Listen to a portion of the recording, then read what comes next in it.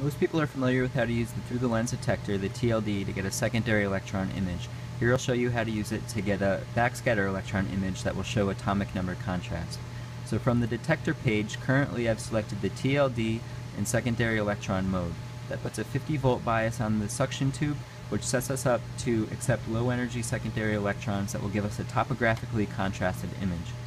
Here you can see I'm in immersion mode. We'll get the best atomic number contrast backscatter image in immersion mode. We can also try it in field free mode. It'll give us atomic number contrast, just not quite as well. So here we see our secondary electron image. Um, this is a patch of silver. I've heated the specimen to sinter these particles so that we get high roughness. Our brightest pixels, therefore, are associated with the highest roughness because we're getting topographical information. If I switch from a secondary electron to a backscatter electron mode, we're changing from positive 50 to negative 50 volts on our suction tube, and in doing so we now reject low energy secondary electrons and only accept higher energy backscatter electrons that carry with them atomic number contrast information. If I go to a longer dwell time, we get a better signal to noise ratio, and now I see that the brightest pixels are now associated with the highest atomic number, gold, followed by silver, titanium, and silicon. The settings matter, so I have 3 kV right now, and that's to ensure that my backscatter signal is coming from only about the top 10 to 15 nanometers of my specimen. Each of these pads is about 20 to 30 nanometers deep, so I want to keep my signal coming from the depths of those pads and not the substrate below.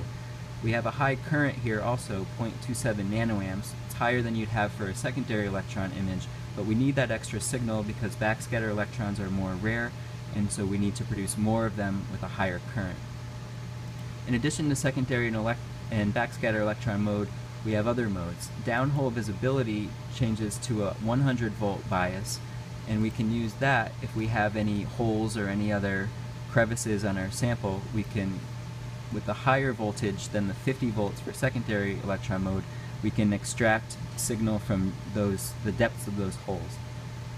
We also have something called charge reduction that puts a zero volt bias on our specimen and if you have a non-conductive specimen that has drifting issues, sometimes this can help mitigate the drifting so that you can take a long dwell time image.